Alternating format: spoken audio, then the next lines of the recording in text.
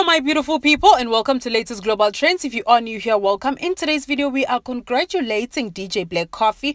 But before we do that, kindly subscribe to our channel. Please click on the notification bell and do give this video a like.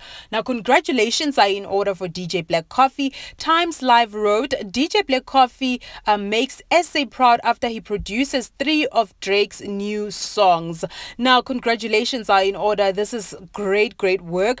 Um, Grammy Award winner DJ Black Coffee Coffee left South Africans gashing over him after he topped the Twitter trends when fans realized he was one of the executive producers and writers on uh, rapper Drake's latest project.